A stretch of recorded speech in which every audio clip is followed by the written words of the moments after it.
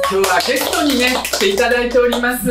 大有名なドラッグクイーンさんでいらっしゃる枝豆純子さんでいらっしゃいます。そして一緒に YouTube チャンネル枝豆香りをやってらっしゃるんですよね。カオル先生。カオル先生でです。お料理案内人みたいなもんです。あれはやんないいや、なんかね、以前違うチャンネルで、やっぱいつも料理を作るチャンネルやってらっしゃるんで、おすすめのおつまみを紹介してもらうみたいなのを、ちょっと違うところで一回コラボみたいな。はいはい本当に嫌だったなあのおつまみ。今回はちゃんともうヒロシキズの方でも一緒にコラボしたいねということで、ね、とうござ来ていただいてありがとうございました。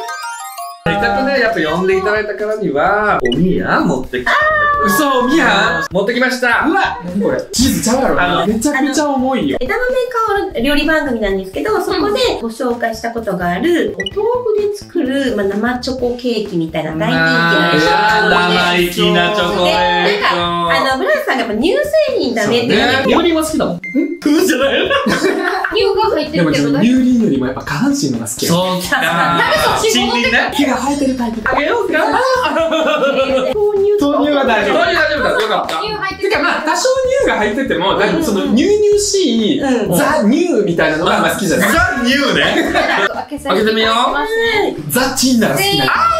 さあさあさあどうなんでしょうか。いいケースがなかったので、焼いた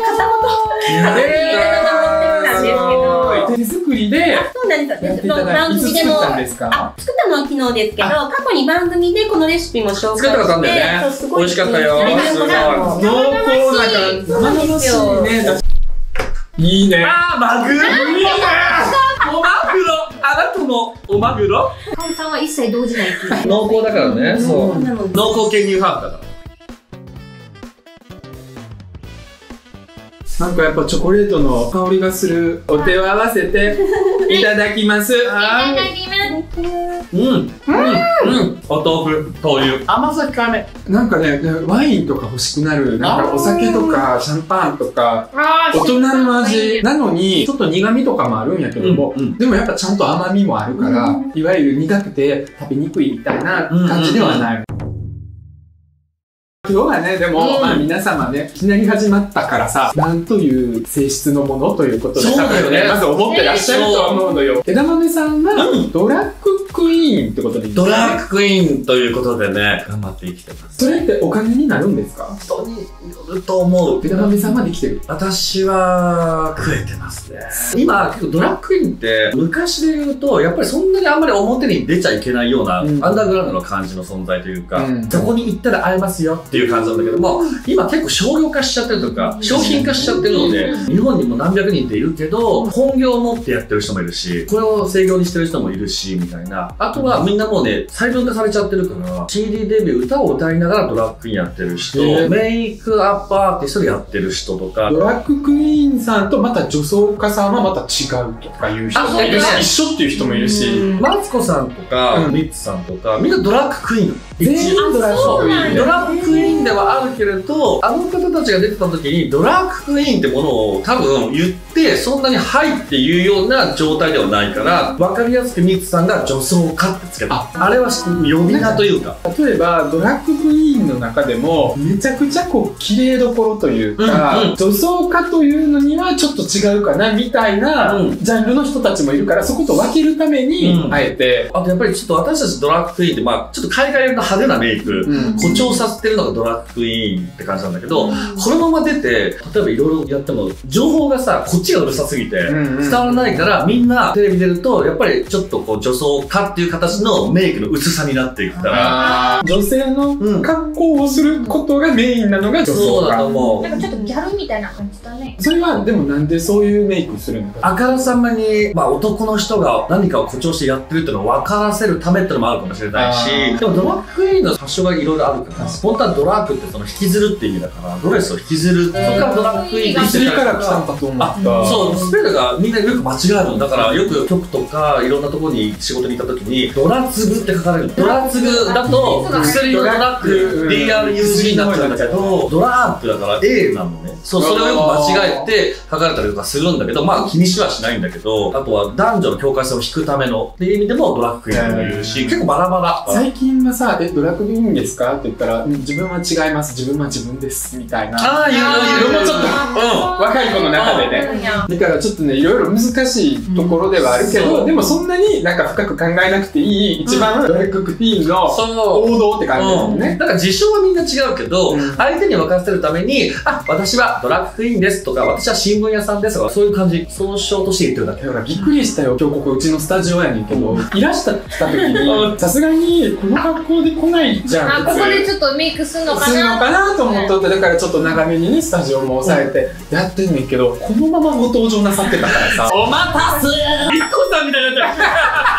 そこの小道でやってきたんだから、普段はでも生活するときは、この格好の割合と素顔、男の方の、純一郎の。純一郎純一郎の方と、純子と純一郎の割合の違うやん。純一郎の割合が多いかもしれない。あーまあでも純一郎だとしても純子だとしてもずっと隠れて生きてるんで、あんまり変わりはしないんだけどもね。えーこそこそこそこそしてる。最近さ、親にバレたんでしょあ、バレた。もうね、このチャンネルもお父さん、家族見ると思うんだけど。今まではみんな知らんかった知らんかった。結構今年 YouTube のやったり7月ぐらい。ラジオとかやったりとかん結構出てるから、うんもう全然バリバリバレてるもんかとみんなそう、でも今年の夏ぐらいにバレたんだけど、ちょっと前から知ってたみたい。でもどうやってバレたの？YouTube? ブリアナ・ギガンテさんっていう方がいらっしゃって、うんその方の YouTube 出て、それをお姉ちゃんがファンだから見てたら、あ、なんか枝豆純子っていう、あなんかこういうちょっと面白い女装いるんだと思って、よく見たら弟だったっていう。なんでバレたんやろなだって見た目じゃん、うん、確かに。分からへんやん多分声とかじゃないあとやっぱりよく見てたらやっぱ家族はわかるんじゃないかしら。急に電話かかってきたよ。純一郎、お前は純子なのかっつって。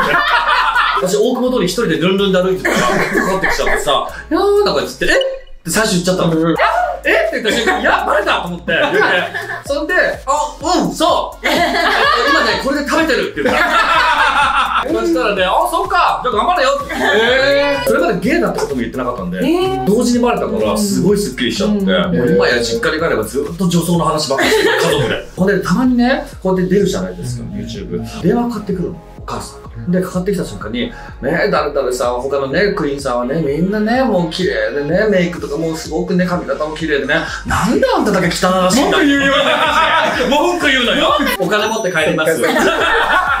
それまでは長いことその彼女とかもちろん紹介することもなくいたいたいたあ。いたん24まで彼女いたの。じゃあ最初はバイセクシャルいや、なんかやっぱりそういうところが分かんなかったから、もうしょうがなく付き合ってたって感じ。付き合ってる中でやっぱり自分ちょっと違うなみたいな付き合ってる時に彼女もいて彼氏もいたの同時に。悪いやつだ。そう、私すごい悪いう。でも私が欲しいわよ。あげようか？親からしたらえあんた彼女がいたじゃないみたいな。でもやっぱりそれ以降そういうね、連れてってもないし、やっぱり新宿出てってだから、だからなんとなく気づくんじゃない？えこの格好で会ったことある？親。ないないないないないない。たまにね、これで帰ってね。ねえ。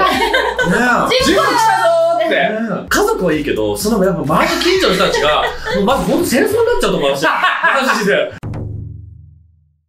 どういういきさつでチャンネルやるようになったの？もともとは私はスタジオで外国の方に結構お料理を教える機会が多くって、これからそれでさらにオリンピックも来るし頑張ろうと思っていたらまさかのコロナになってしまって、うん。どれも来ないじゃないですか。うん。で、どうしようって時に、ちょうど LGBT の外国の方を日本に案内する、アアテンドするっていう旅行会社の方と元の知り合いで、その時にドラッグインさん、ちょっと知り合いが、あの、いるから、で、可愛いお料理を外国の方に教えてたんですよ。ブラックインさんが可愛い料理を教えたら面白くない、安易な考えで。地獄ですよ。最初あの外国の方来ないから、 Zoom で料理教室やろうってなったんですけど、やっぱいざ Zoom ってなると難しいし、無理だねって言ってどうしようってなってる時に、初めて純子さんにお会いして、それまでドラァグクイーンさんって知らなかったんですよ。試しに Zoom の、試しやあ、 Zoom で一回、いやーみたいな感じでやってみようっていう時にいらっしゃってで、その時は普通に本番じゃなくカメラ回したりしてたんですけど、その時に初めて純子さんお会いして、ドラァグクイーンさんって方にも初めてお会いして、もうすごいびっくりして、でも、そりゃそうだろうなびっくりして血流してたもん。ね。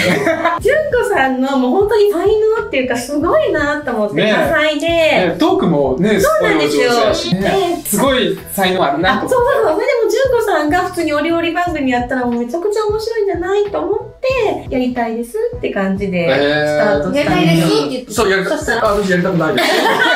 金に物を言わせって。やりたくないです。どうですか？今うまくいってます？仲良くしてます？あ、私たちがいくらボケまくっても、本当に完全100%以上スルーするから、それはいい感じで。本当だってこっちはトークで頑張ろうとしてるのに、もうこっちはほんまに料理一本でいってるから、それがねもうちょうどいい融合をしてるわけ。おしゃべりクッキングでいうとこの上沼恵美子さん役なのよね、多分。そうだと。で、あの、シェフ役というか。そうそうそう。あんまり YouTube そんな興味なかったんですよ。だけど出てからは、なんかいろいろこう、ね、全国行くたんびに見てますよって言われると、そう、だからもう見ないでって、見るんじゃないよって。見ないでって言ったらね、見るね。あ暇ねっていう。どんなきっかけで業種、業、私ね、やっぱりこう人生隙間産業だと思ってるんで、ダンサーだった男の人としてやってて、バックダンサーとかもいろいろやってて、4年前にたまたまお姉の MC が必要みたいな。いや、ちょっと待って、メイクとかやったことないな、みたいな。だからそのまま行くにもあれだなと思って、あ、ちょっとドラッグインっぽくやってみようかなと思ったのが始まりで、そしたら、あ、私ちょっとこれやりたいと思って、で、ドラッグインとしての振付師とか、ステージングディレクターみたいなのがいなかったから、ちょっとそれをやりたいなと思って。4年前に、まだね、新人なんですよ。へーそう、それを言うとみんなにね、もう意地が悪いって言われるんだけど、もっともっとベテランな感じなんかなって。ドラッグインとしてはもうね、全然、ペーペドラッグクイーン業界ではなんかパシリされたりとか。ー。してない。する人もいないと思う。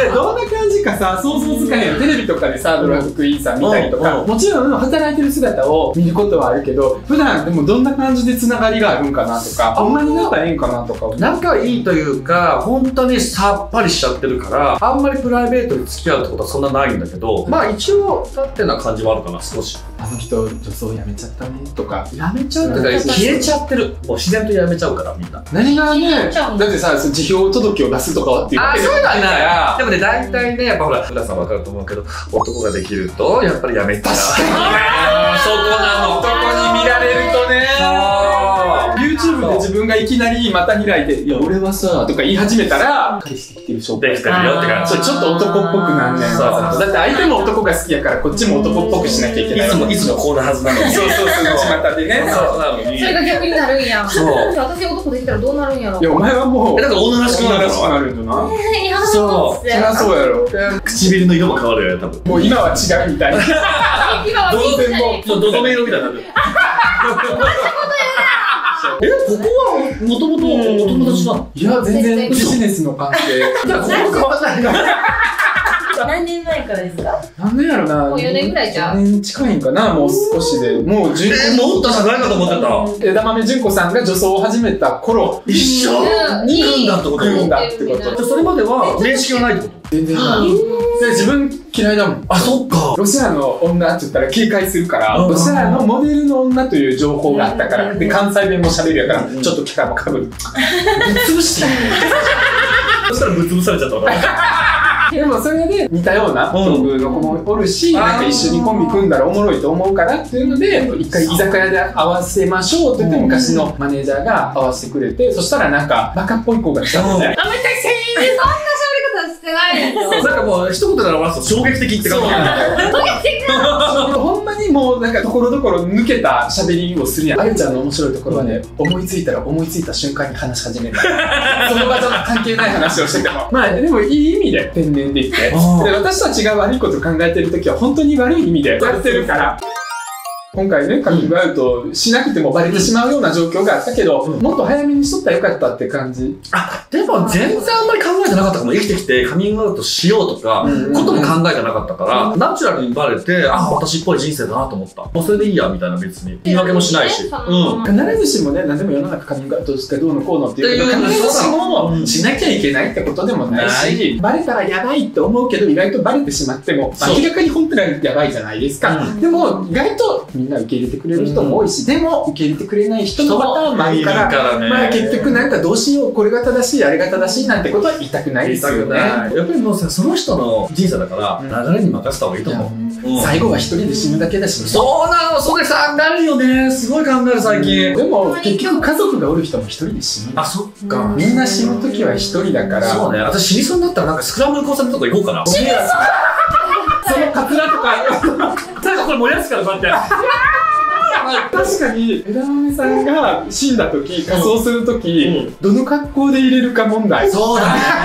そのカツラとかも一緒に。やっぱ、でも持ってるカツラ全部あでも遺品として一緒に。入れるんじゃないの純一郎としての棺桶なのか、純子としての棺桶なのかで、もね、私は純子がいいな。あとのことなのでご家族の方皆様もね、ちょっと。勝手に。殺すんじゃねえよこの格好で棺桶に入れてくださいということでで、大爆笑で終わってほしい。いちいちもう黒い服とか着なくていいから、最後帰る間際に通るやんか。で自動扉みたいなの開くときに「ありがとう!」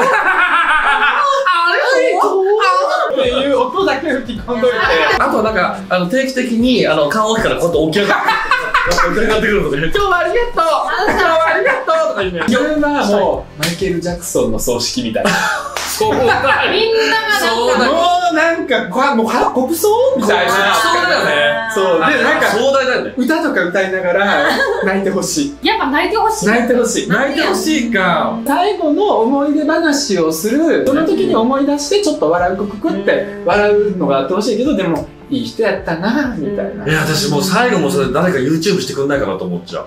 あとなんか最後仮装が終わった後骨で出てきた時やっぱり男の骨格やな そういうの撮りたい。